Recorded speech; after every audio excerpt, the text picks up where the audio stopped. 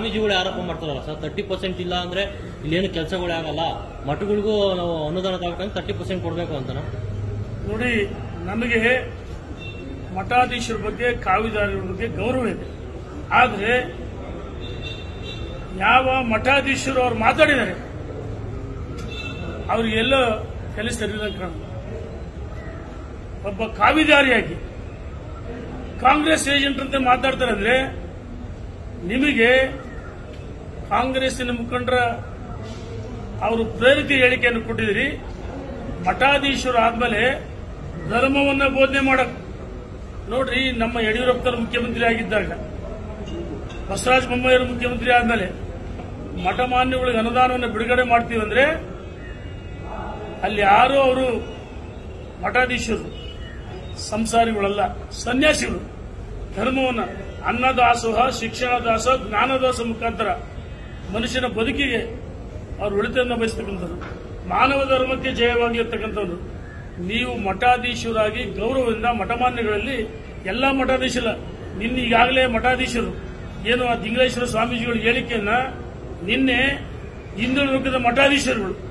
ಬಹುತೇಕ ಮಠಾಧೀಶರು ಅವರು ಹೇಳಿಕೆಯನ್ನು ಖಂಡಿಸಿದರೆ, ನಾನು ಕೇಳಿ, ಸ್ವಾಮೀಜಿಗಳೇ, ನಿಮಗೆ ಯಾರಾದರೂ ಕಮಿಷನ್ ಕೇಳಿದ್ರಿ, ಮುಖ್ಯಮಂತ್ರಿಗಳಲ್ವಾ? ಮುಖ್ಯಮಂತ್ರಿಗಳು ನಿಮ್ಮ ಜಿಲ್ಲೆರೇ ಮುಖ್ಯಮಂತ್ರಿ ಜೊತೆ ಚರ್ಚೆ ಮಾಡಬೇಕಾಯ್ತು. ಎಲ್ಲ ಒಂದ್ ಕಡೆ ಕಾಂಗ್ರೆಸ್ಸಿನ ಏಜೆಂಟರಾಗಿ ಒಂದು ಹೇಳಿಕೆಯನ್ನು ಕೊಡಿದ್ರೆ ಅವ್ರು ಖಂಡಿಸ್ತೀನಿ. ನೀವು ಮಠಾಧೀಶರ ನಾಲಾಯಕ ಅಂತ ಹೇಳಕ್ಕೆ ಇಚ್ಛೆ ಪಡ್ತೀನಿ. ಇಲ್ಲ ಕಾಂಗ್ರೆಸ್ ಪಾರ್ಟಿ ಸೇರ್ಕೊಳ್ತೀನಿ ಆಯ್ತು ನೋಡಿ ಎಲ್ಲ ಮಠಾಧೀಶರ ಬಗ್ಗೆ ನಮಗೆ ಗೌರವ ಇದೆ. ನಮ್ಮ ಧರ್ಮ ಸಂಸ್ಕೃತಿ ಪರಂಪರೆ ಉಳಿದಿದೆ ಅಂದ್ರೆ ಅದು ಮಠಾಧೀಶರು ಕಾವಿದಾರಿಗಳಿಂದ. ಆದರೆ ಇಂಥ ಮಠಾಧೀಶರು ಕಾಂಗ್ರೆಸ್ಸಿನ ಏಜೆಂಟ್ರಾಗಿ ಹೇಳಿಕೆಯಲ್ಲಿ ಕೊಡ್ತಾರೆ ಅಂದರೆ ಧಾರವಾಡಗಿ ಎಲ್ಲ ಮಠಾಧೀಶರ ಬಗ್ಗೆ ನಾವು ಮಾತಾಡಲ್ಲ. ಎಲ್ಲ ಮಠಾಧೀಶರ ಬಗ್ಗೆ ಮಾತಾಡಿದ್ರೆ ಅಪಾರ್ಥ ಆಗುತ್ತೆ. ಇಂಥ ಹೇಳಿಕೆಯನ್ನು ಕೊಟ್ಟಿದ್ರೆ ನೇರವಾಗಿ ಕಾಂಗ್ರೆಸ್ಸಿನ ಬಾವುಟವನ್ನು ಹಿಡಿದು ಕಾಂಗ್ರೆಸ್ ಪಕ್ಷದ ಪರ ಪ್ರಚಾರ ಮಾಡಿ ಅಂತ ಕಿಚ್ಚೆ ಇಚ್ಛೆ ಪಡ್ತೀನಿ ಥ್ಯಾಂಕ್ ಯು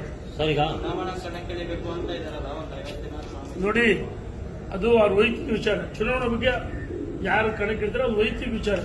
ಈ ಪ್ರಜಾತಂತ್ರ ವ್ಯವಸ್ಥೆಯಲ್ಲಿ ಯಾರಾದ್ರೂ ಸ್ಪರ್ಧೆ ಮಾಡಬಹುದು ಸ್ಪರ್ಧೆ ಮಾಡಬಾರಂತ ಇಲ್ಲ.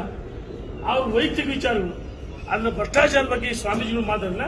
ಇದನ್ನು ನೇರವಾಗಿ ನಾನು ಕಡ ಕಟ್ಟಿದ್ದು ಖಂಡಿಸ್ತೀನಿ ಕಾಂಗ್ರೆಸ್ ಕೆಲವು ಗುತ್ತಿಗೆದಾರರು ನಾನು ಕೇಳಕ್ಕೆ ಇಚ್ಛೆ ಪಡ್ತೀನಿ. ನಲವತ್ತು ಪರ್ಸೆಂಟ್ ಕಮಿಷನ್ ಎಷ್ಟು ಹಾಸ್ಯಾಸ್ಪದ.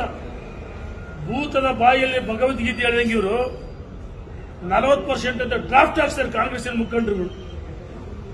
ಇವತ್ತು ನಮ್ಮ ಸರ್ಕಾರ ಮುಖ್ಯಮಂತ್ರಿಗಳು, ಸಚಿವರು ಪಾರದರ್ಶಕವಾಗಿ ಉತ್ತಮ ಆಡಳಿತವನ್ನು ಕೊಡ್ತಾ ಇದ್ದಾರೆ. ಯಾವ ನಲವತ್ತು ಪರ್ಸೆಂಟ್ ಇಲ್ಲ. ನೋಡಿ, ನಾನು ಕೇಳಕ್ಕೆ ಇಚ್ಛೆ ಪಡ್ತೀನಿ ಕಾಂಗ್ರೆಸ್ ಮುಖಂಡರಿಗೆ. ನೀವು ಹೇಳಿದ ಪ್ರಕಾರ ನಲವತ್ತು percent. Plus royalty G S T ಹದಿನೆಂಟು ಪರ್ಸೆಂಟ್ ಬರುತ್ತೆ. ಮತ್ತು ರಾಯಲ್ಟಿ ಎಲ್ಲ ಸೇರಿ ಇಪ್ಪತ್ತೈದು, ಮೂವತ್ತು ಪರ್ಸೆಂಟ್ ಆಗುತ್ತೆ. ಅಲ್ಲಿ ಎಪ್ಪತ್ತು ಪರ್ಸೆಂಟ್ ಅದು. ಮೂವತ್ತು ಪರ್ಸೆಂಟ್ ಯಾರಾದ್ರೂ ಕೆಲಸ ಮಾಡ್ತಾರ? If you like this video ಬೇಗ ಲೈಕ್ ಮಾಡಿ ಕಾಮೆಂಟ್ ಮಾಡಿ ಶೇರ್ ಮಾಡಿ. ಹಾಗೂ ಯೋಯೋ ಟಿವಿ ಕನ್ನಡವನ್ನು ಸಬ್ಸ್ಕ್ರೈಬ್ ಮಾಡಿ.